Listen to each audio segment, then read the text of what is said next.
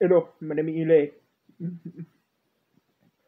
so yeah, check this out, guys. We got a new Coca-Cola flavor.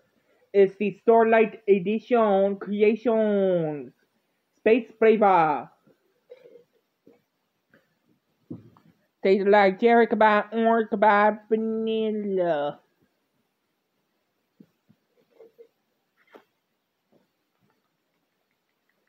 It's pretty good. You should try it.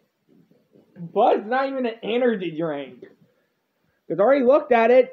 You can buy the same drink in a freaking 20 ounce drink. Like 20 ounce bottle in the drink. Oh. Excuse me. Hey, Sad. Sad. And look at the can. It's a small ass can, boy. But anyway, guys, if you guys like the taste test, hope you guys like, comment, subscribe. It's not.